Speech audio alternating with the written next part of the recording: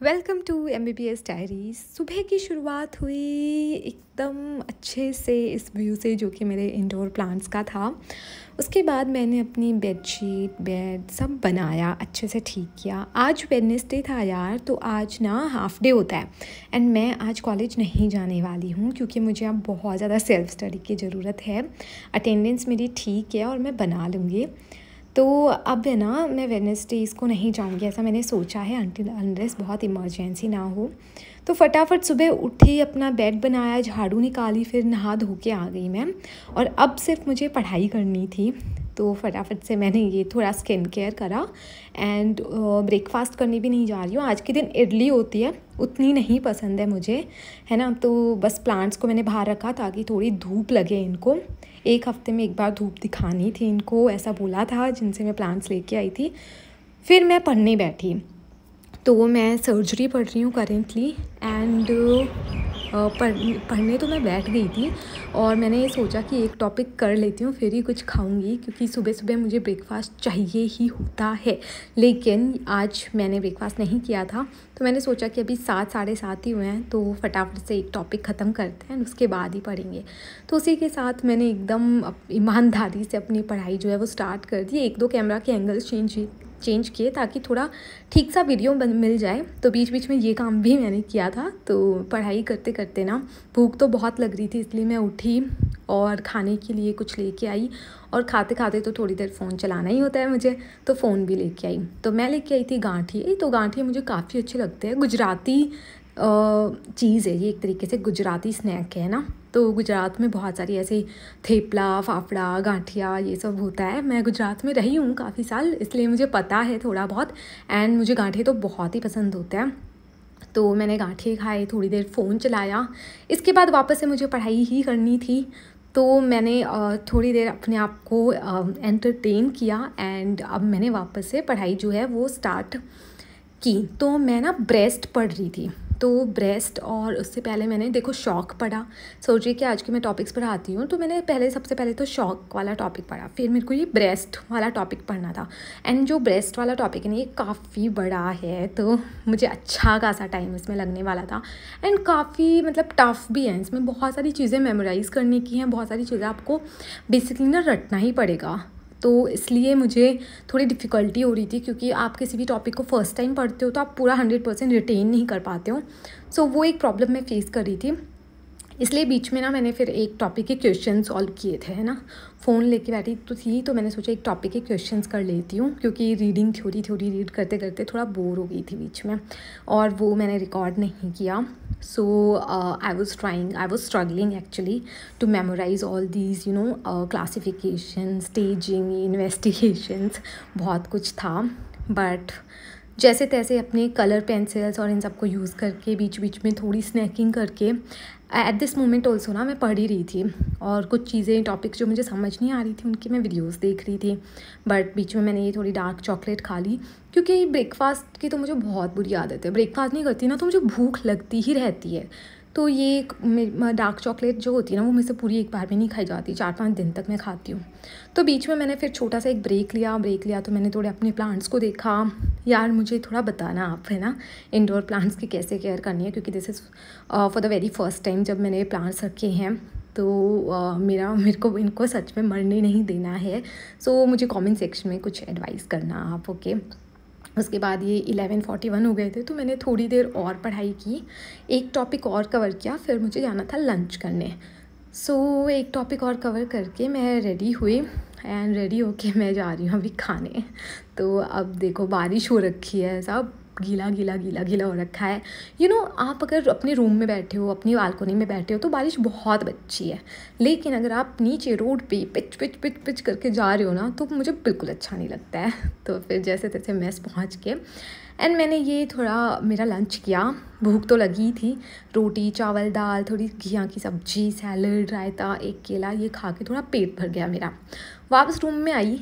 देखो, लेटी नहीं मैं। लेटने का मन था मेरा, लेकिन फिर मुझे लंबी ही नींद आ जाती। इसलिए मैंने सोचा कि एक दो टॉपिक और पढ़ लेते हैं वीडियोस देख लेते हैं और थोड़ा सा मतलब इस टाइम को यूटिलाइज़ कर लेते हैं, वरना बहुत लंबे टाइम के लिए चली जाऊँगी मैं अगर सो गई इस टाइम क्योंकि खाना खा के आते हैं तो नींद तो आई रही होती है। इसलिए मैंने थोड़ा इंटरेस्टिंग सा वीडियो देखा ताकि मुझे ज़्यादा नींद ना आए। फिर ना मेरा अमेज़ोन से एक पार्सल आया हुआ था। सो so, मुझे ये यूज़ करना था जो कि आर्टिफिशियल वाइन प्लांट है। सो so, इसको मैंने यूज़ इसकी मैंने रील भी बनाई और मैंने इसको यहाँ पे डेकोरेट किया। सो so, वो रील वगैरह अपलोड की तो बीच में ये भी मेरा एंटरटेनमेंट हो गया था। And this is a final look ऐसा दिख रहा है। आप ऑनेस्टली बताना मुझे कि ये कैसा लग रहा है ठीक है? सो so, मुझे तो अभी प्यारा लग रहा है वैसे और ये आर्टिफिशियल हैं तो इनका मरने का भी डर नहीं है कम से कम। और आप लोगों को जैसी भी लग रही हूँ एकदम ऑनेस्ट से रिव्यूज़ मुझे बता देना कमेंट सेक्शन में। सो so, अभी ये फाइनल है फाइनल लुक है ओके उसके बाद मैंने पढ़ाई करनी वापस से स्टार्ट की। I know it's getting a little bit boring लेकिन अब इसको इंटरेस्टिंग कैसे ही कर सकते हैं? पूरे दिन रूम में रह के मुझे सिर्फ़ पढ़ाई करनी थी। मैंने तो बहुत कुछ फिर भी इंटरेस्टिंग सा कर दिया बीच में एटलीस्ट कुछ ये डेकोरेट करना था ये सब कर लिया। बाकी वेनेसडे को ही मैं छुट्टी करूँगी। एंड मंडे ट्यूसडे जाऊँगी थर्सडे फ्राइडे भी जाऊँगी। सैटरडे और संडे अब से हमारा ऑफ़ रहने वाला है, क्योंकि हमारे ही टाइम से कैरिकुलम पूरा चेंज हो गया है। हेलो एवरीवन आई नो मेरे जो ये व्लॉग्स होने वाले हैं these are going to be are little bit boring क्योंकि इसके अंदर एक फिक्स रूटीन होने वाला है थोड़ा सा स्ट्रिक्ट रूटीन हम फॉलो करने वाले हैं, थोड़ी पढ़ाई करने वाले हैं। I don't know next twenty five days में मतलब आज फिफ्थ डे है of daily vlogging next twenty five days I have to vlog I don't know उसमें क्या कुछ इंटरेस्टिंग होगा भी या नहीं होगा बट स्टिल हम होप करते हैं कि एक दो दिन मैं निकालूँ कुछ इंटरेस्टिंग भी करूँ लाइफ में okay rather than just studying but studying जो है ना स्टडिंग वाला पार्ट वो एक मेडिको की लाइफ से जा नहीं सकता. सो so, अब अभी मैंने आप लोगों से बात करनी चाहिए क्योंकि मैं मेरे को पढ़ाई करनी है ठीक है? सो so, मैंने सोचा कि कुछ ऐसे इंपॉर्टेंट uh, टॉपिक्स कुछ ऐसी काम की बात आपको भी बता दूँ जो मैं पढ़ रही हूँ. तो मैं सर्जरी पढ़ रही थी अभी. सर्जरी में मैं ब्रेस्ट कैंसर का टॉपिक पढ़ रही थी. सो ब्रेस्ट कैंसर जो है ना आपको पता है कि more common in ladies first of all and काफ़ी अभी आजकल ब्रेस्ट कैंसर के केसेस जो है ना वो बढ़ रहे हैं। सो so, इसके में कुछ रिस्क फैक्टर्स होते हैं कि रिस्क फैक्टर्स क्या होते हैं कि अगर ये ये चीज़ आप में है ना तो चांसेस हैं आपको ब्रेस्ट कैंसर हो सकता है। एज कंपेयर टू ऐसे इंडिविजुअल्स जिनके अंदर ये वाले रिस्क फैक्टर्स नहीं है। सो so, अगर आप में इनमें से कोई भी रिस्क फैक्टर है then you have to be a little bit cautious okay आपको उस चीज़ का ध्यान रखना पड़ेगा और फ्यूचर में जितने भी स्क्रीनिंग टेस्ट होते हैं वो करवाने पड़ेंगे। मतलब थोड़ा अपनी हेल्थ की तरफ़ थोड़ा और ध्यान रखना पड़ेगा। सो so, कुछ रिस्क फैक्टर्स ऐसे हैं जो हमारे हाथ में नहीं है जिनका हम कुछ नहीं कर सकते बट कुछ रिस्क फैक्टर हैं जो हम बिल्कुल कंट्रोल कर सकते हैं। सो so, ऐसे रिस्क फैक्टर्स जो हमारे हाथ में नहीं है उनमें से आता है कि अर्ली मिनार की अगर आपको पीरियड्स बहुत जल्दी आपकी मेंस्ट्रुअल साइकिल जो है वो बहुत जल्दी स्टार्ट हो गई थी ठीक है? या लेट मीनोपोज या फिर आपकी जो आ, मतलब ऐसी लेडीज़ वैसे इंडिया में 47 50 तक मीनोपोज आ जाता है 50 इयर्स तक लेकिन अगर आपका लेट मीनोपोज चल रहा है बहुत तो वो भी एक रिस्क फैक्टर है। एक बहुत इंपॉर्टेंट रिस्क फैक्टर है, वो है फैमिली हिस्ट्री अगर आपकी फैमिली में किसी को ब्रेस्ट कैंसर था स्पेशली आपके फ़र्स्ट डिग्री रिलेटिव को, ठीक है? फॉर एग्ज़ाम्पल आपकी मदर को, है ना? भगवान अगर ऐसा हो, लेकिन अगर ऐसा है देन बहुत रिस्क है आपके लिए तो आपको पहले से ही सारे प्रिकॉशंस लेने पड़ेंगे। ओके आई नो ये थोड़ा हार्श है बट uh, ये फैक्ट है एंड इसीलिए मैं आपको बता रही हूँ क्योंकि नहीं पता होता है। If you we are like not not in this field हम नहीं पढ़ते हैं हम नहीं जानते चीज़ों को एंड फिर uh, हम उस चीज़ को उतना मतलब मैं सिर्फ़ अवेयरनेस फैलाने के लिए आपको ये सब चीज़ें बता रही हूँ ओके okay? मैं डरा नहीं रही हूँ। अब इसके बाद आती हैं कुछ ऐसे चीज़ें जो हम कंट्रोल कर सकते हैं। एंड आई नो ये थोड़ा ज्ञान वाली बात हो जाएगी but guys breast cancer even for या, ये वीडियो वैसे भी गर्ल्स के लिए so girls alcohol okay smoking obesity ये सब रिस्क फैक्टर्स हैं ब्रेस्ट कैंसर के लिए. अब अगर आप सिर्फ़ ट्वेल्थ में हो, अगर आप नीट की यूजी की तैयारी कर रहे हो देन आई नो आप लोगों को अभी ये सब चीज़ें उतना समझ नहीं आ रही हैं कि हम तो नहीं करते अल्कोहल हम तो क्यों करेंगे स्मोकिंग हम तो नहीं है मोटे, है ना? बट गाइज़ एक चीज़ मैं आपको बताती हूँ कि जब आप कॉलेज में आते हो ना तो यहाँ पे अल्कोहल स्मोकिंग का कल्चर बहुत ज़्यादा है। आई हैव सीन पीपल जो यहाँ कॉलेज में आए थे एंड उन्होंने कभी ज़िंदगी में ड्रिंक ड्रिंक या स्मोक नहीं करा था इवन उनको पसंद भी नहीं था ठीक है?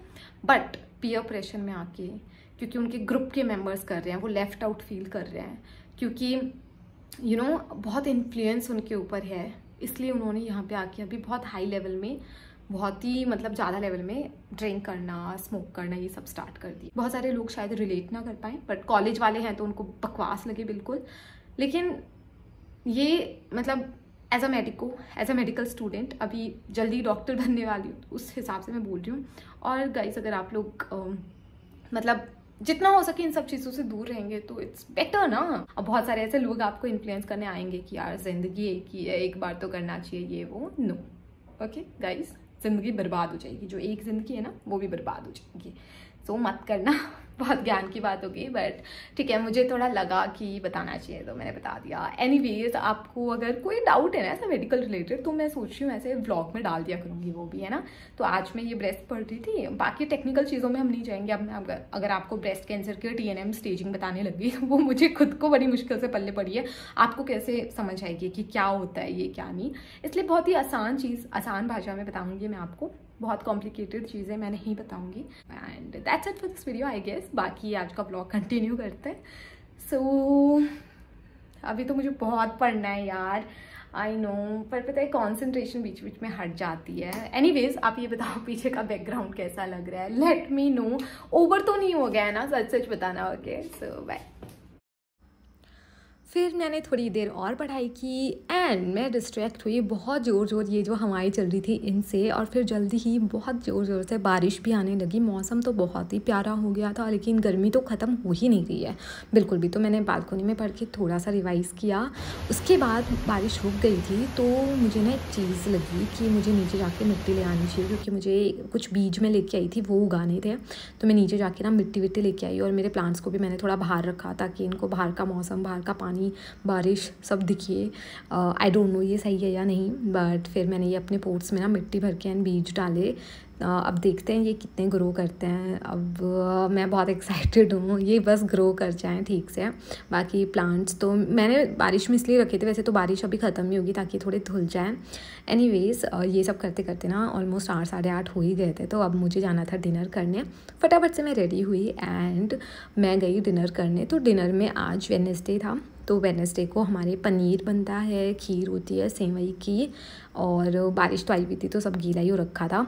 तो फटाफट से मैंने ये रोटी, पनीर की सब्ज़ी, सेवई, सैलड ये सब खाया एंड अब जाके बस मुझे ये व्लॉग एडिट करना है अपलोड करना है और थोड़ी देर और पढ़ के सोना है। So that's it let me know कैसा लगा।